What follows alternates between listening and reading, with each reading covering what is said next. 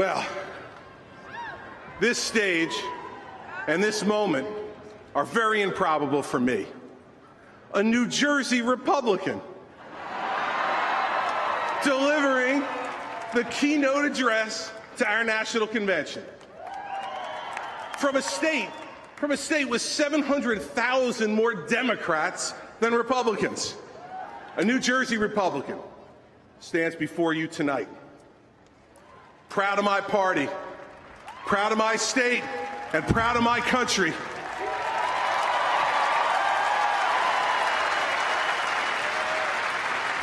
Now, now I am the son of an Irish father and a Sicilian mother. My dad, who I'm blessed to have here with me tonight, is gregarious, outgoing, and lovable.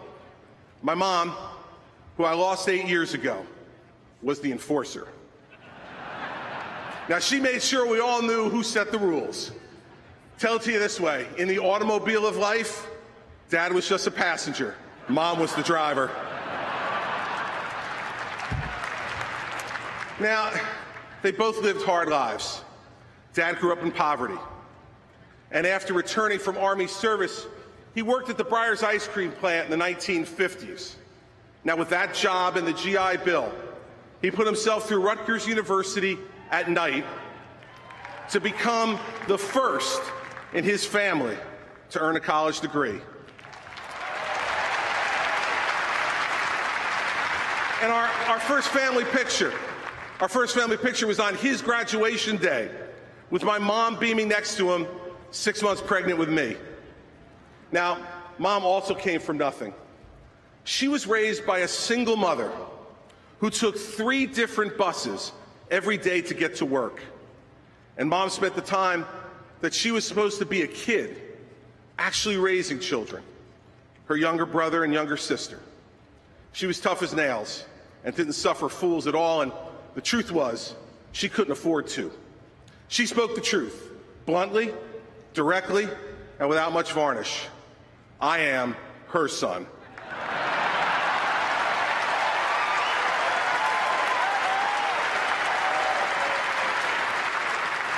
I was her son.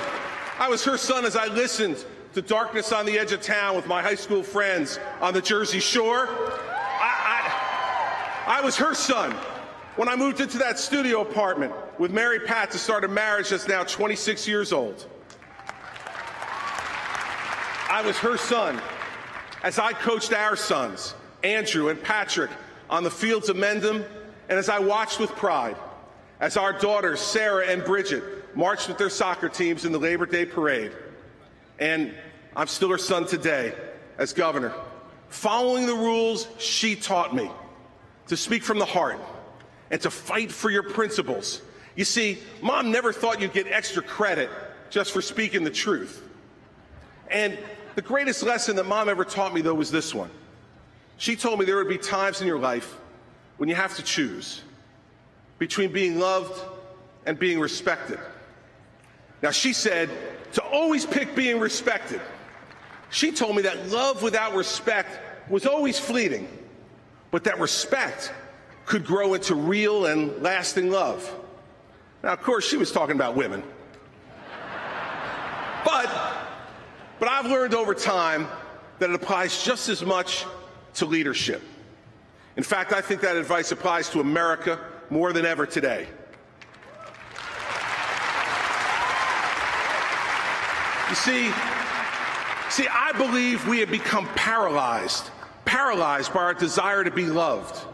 Now, our founding fathers had the wisdom to know that social acceptance and popularity were fleeting, and that this country's principles needed to be rooted in strains greater than the passions and the emotions of the times. But our leaders today have decided it's more important to be popular, to be popular, to say and do what's easy, and say yes rather than to say no, when no is what is required.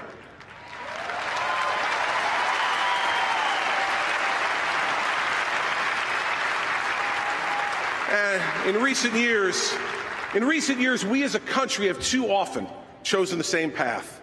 It's been easy for our leaders to say, not us, not now, in taking on the really tough issues. And unfortunately, we've stood silently by and let them get away with it. But tonight, I say enough. Tonight, tonight I say together, let's make a much different choice. Tonight we are speaking up for ourselves and stepping up. Tonight we're beginning to do what is right and what is necessary to make America great again.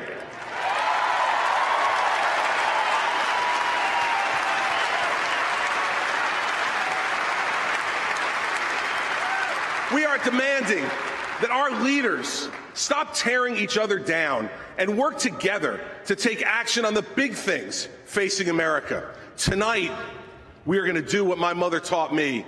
Tonight, we're going to choose respect over love.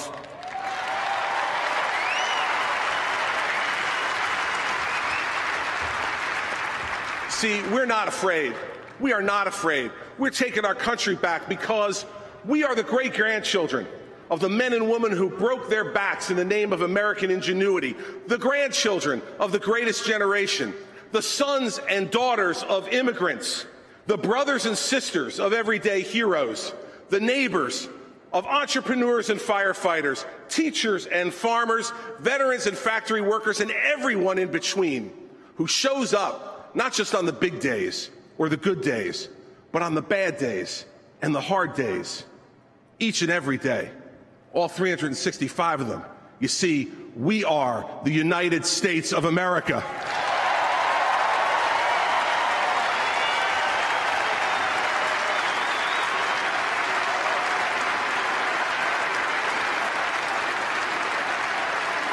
Now, now, now, it's up to us. We must lead the way our citizens live.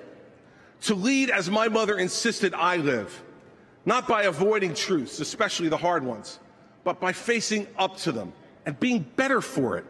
We can't afford to do anything less. Now, I know this because this was the challenge in New Jersey. When I came into office, I could continue on the same path that led to wealth and jobs and people leaving our state. Or I could do the job people elected me to do, to do the big things. Now, there were those who said it couldn't be done that the problems were too big, too politically charged, and too broken to fix. But we were on a path we could no longer afford to follow. Now, they said it was impossible. This is what they told me to cut taxes in a state where taxes were raised 115 times in the eight years before I became governor. That it was impossible to balance a budget at the same time with an $11 billion deficit. But three years later, we have three balanced budgets in a row with lower taxes. We did it.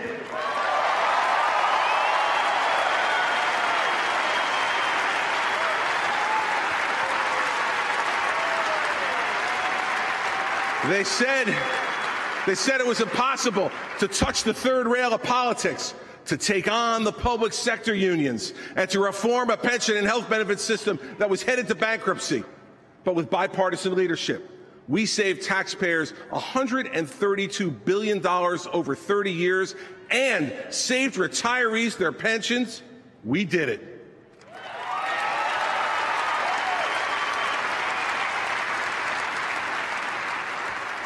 They said, they said it was impossible to speak the truth to the teachers union.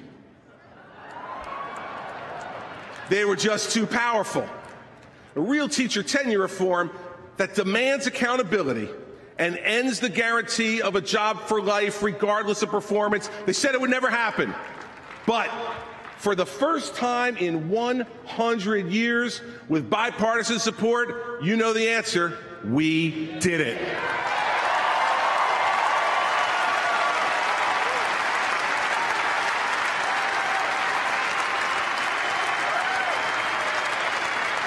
Now, now, the disciples of yesterday's politics, they always underestimate the will of the people. They assumed our people were selfish. That when told of the difficult problems, the tough choices, and the complicated solutions, that they would simply turn their backs. That they would decide it was every man for himself. They were wrong. The people of New Jersey stepped up. They shared in the sacrifice. And you know what else they did? They rewarded politicians who led instead of politicians who pandered.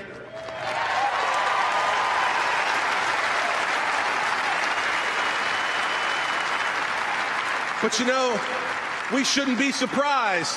We shouldn't be surprised. We've never been a country to shy away from the truth. Our history shows that we stand up when it counts. And it's this quality that has defined America's character and our significance in the world. Now, I know this simple truth, and I am not afraid to say it. Our ideas are right for America, and their ideas have failed America.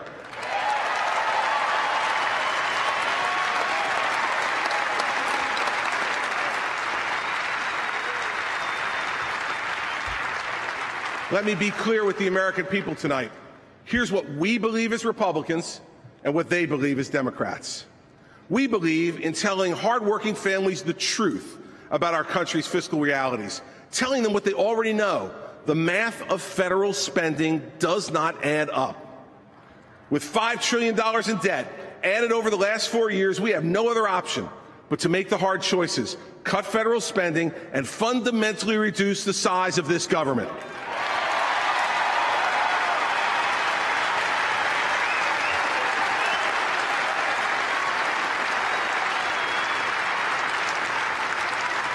Want to know what they believe? They believe that the American people don't want to hear the truth about the extent of our fiscal difficulties. They believe the American people need to be coddled by big government. They believe the American people are content to live the lie with them. They're wrong. We believe in telling our seniors the truth about our overburdened entitlements. We know seniors not only want these programs to survive, but they just as badly want them secured for their grandchildren. Our seniors are not selfish.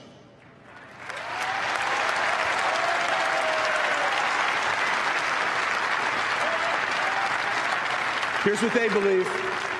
They believe seniors will always put themselves ahead of their grandchildren. And here's what they do. They prey on their vulnerabilities and scare them with misinformation for the single, cynical purpose of winning the next election. Here's their plan. Whistle a happy tune while driving us off the fiscal cliff, as long as they are behind the wheel of power when we fall. Now, we believe that the majority of teachers in America know our system must be reformed to put students first so that America can compete. Now, teachers don't teach to become rich or famous. They teach because they love children. We believe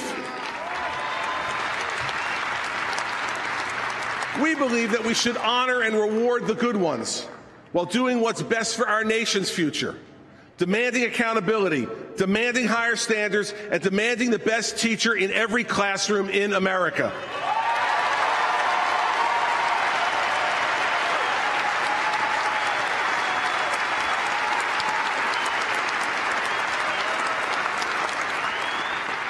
Get ready. Get ready. Here's what they believe. They believe the educational establishment will always put themselves ahead of children, that self interest will always trump common sense. They believe in pitting unions against teachers, educators against parents, lobbyists against children. They believe in teachers' unions. We believe in teachers.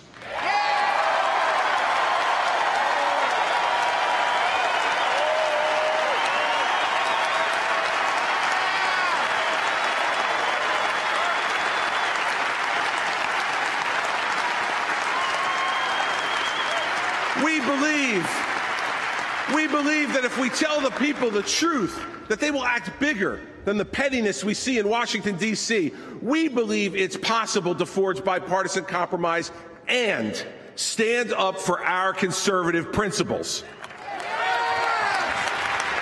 You see,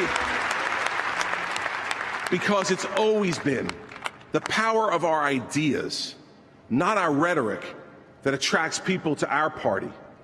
We win when we make it about what needs to be done. We lose when we play along with their game of scaring and dividing. For, for make no mistake about it, everybody, the problems are too big to let the American people lose. The slowest economic recovery in decades, a spiraling out of control deficit, and an education system that's failing to compete in the world. It doesn't matter how we got here. There's enough blame to go around. What matters is what we do now. See, I know, I know we can fix our problems. When there are people in the room who care more about doing the job they were elected to do than they worry about winning re-election, it's possible to work together, achieve principled compromise, and get results for the people who gave us these jobs in the first place.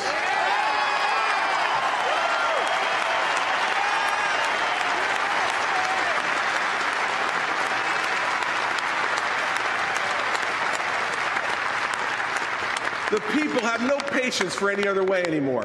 It's simple. We need politicians to care more about doing something and less about being something. Yeah. And and believe me, believe me, if we can do this in a blue state like New Jersey with a conservative Republican governor, Washington D.C. is out of excuses.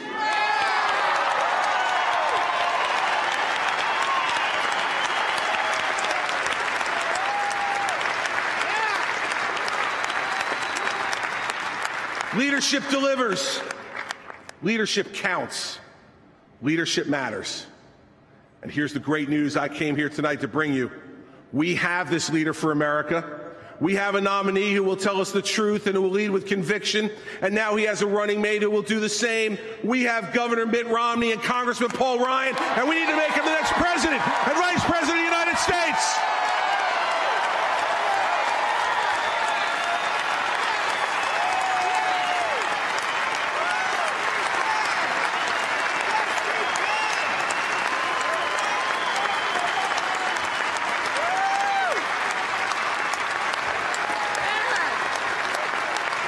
See, you see, because I know Mitt Romney.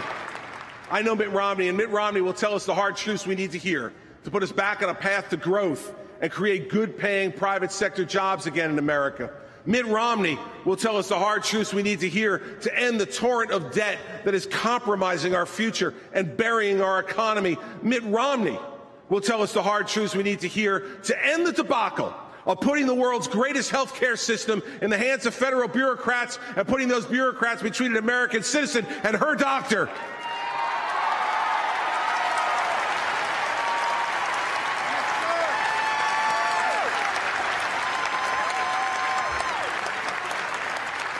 Now, we ended an era of absentee leadership without purpose or principle in New Jersey.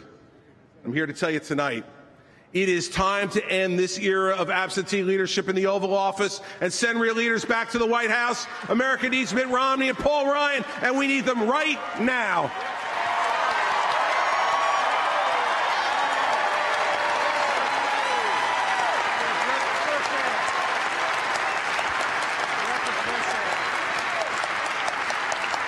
Now, but we got to tell each other the truth, right? Listen, there is doubt and fear for our future in every corner of our country. I have traveled all the country and I've seen this myself. These feelings are real. This moment is real. And it's a moment like this where some skeptics wonder if American greatness is over. They wonder how those who have come before us had the spirit and the tenacity to lead America to a new era of greatness in the face of challenge.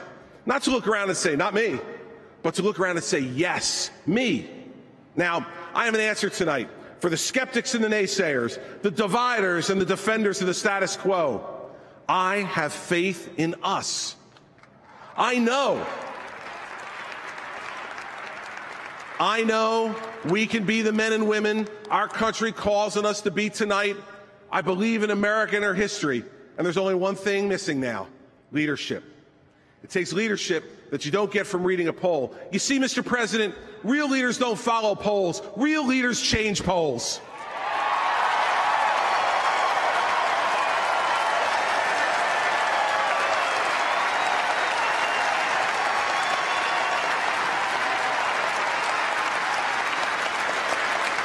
And that's what we need. That's what we need to do now. We need to change polls through the power of our principles. We need to change polls through the strength of our convictions. Tonight, our duty is to tell the American people the truth. Our problems are big and the solutions will not be painless. We all must share in the sacrifice, and any leader that tells us differently is simply not telling the truth. Now, I think tonight, I think tonight of the greatest generation. We look back and marvel at their courage, overcoming the Great Depression, fighting Nazi tyranny, standing up for freedom around the world. Well, now it's our time to answer history's call. For make no mistake, every generation will be judged, and so will we. And what will our children and grandchildren say of us? Will they say we buried our heads in the sand? We assuaged ourselves with the creature comforts we've acquired? That our problems were too big and we were too small? That someone else should make a difference? Because we can't? Or will they say of us that we stood up and made the tough choices that needed to be made to preserve our way of life? You see, I don't know about you, but I don't want my children and grandchildren to have to read the history book what it was like to live in an American century. I don't want their only inheritance to be an enormous government that has overtaxed, overspent, and overborrowed a great people into second class citizenship. I want them to live in a second American century a second American century.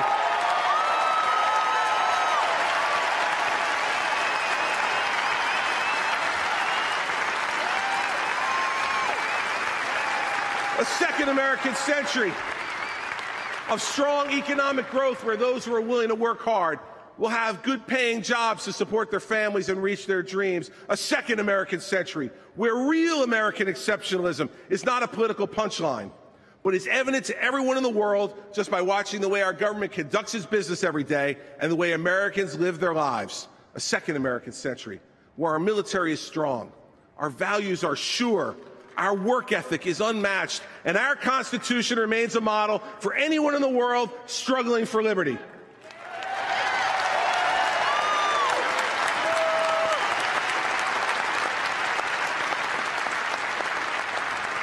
Let us choose a path that will be remembered for generations to come. Standing strong for freedom will make the next century as great an American century as the last one. You see, this is the American way. We have never been victims of destiny. We have always been the masters of our own.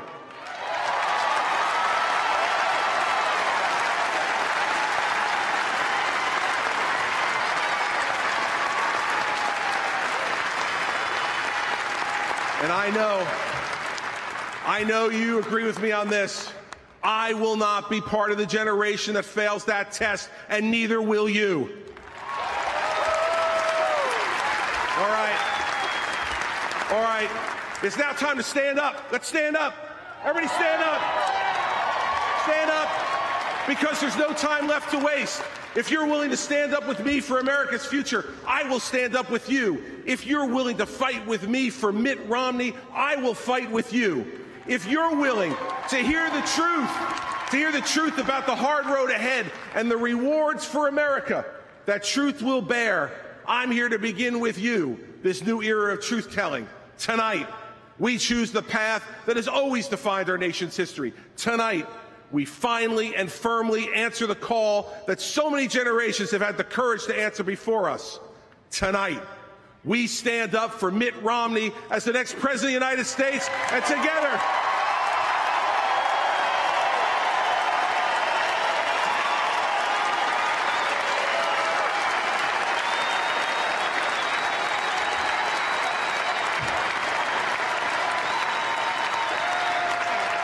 and together, And together, everybody, together, we will stand up once again for American greatness for our children and grandchildren. God bless you and God bless America.